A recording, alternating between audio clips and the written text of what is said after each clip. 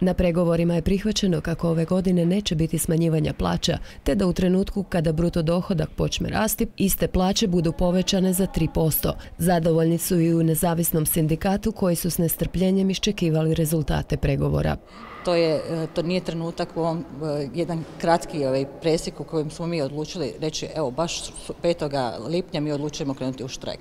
Taj spor je, traje otkad je ova vlada stupila na snagu, upravo zbog rušenja temeljnog kolektivnog ugovora i sad je trenutak pregovaranja za gradske kolektivne ugovore.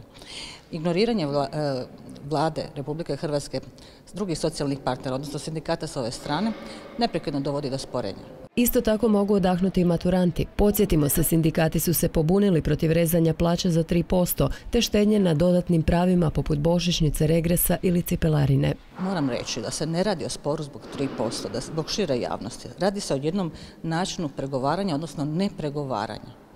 Ukoliko vi jeste na jednakom projektu, a to je obrazovanje učenika, s jedne strane imate vladu koja je poslodavac, s druge strane imate radnike koji predstavljaju sindikat ignoriranjem radnika, odnosno ignoriranjem sindikata koji predstavljaju radnike, vi jednostavno ne možete imati normalan socijalni dijalog.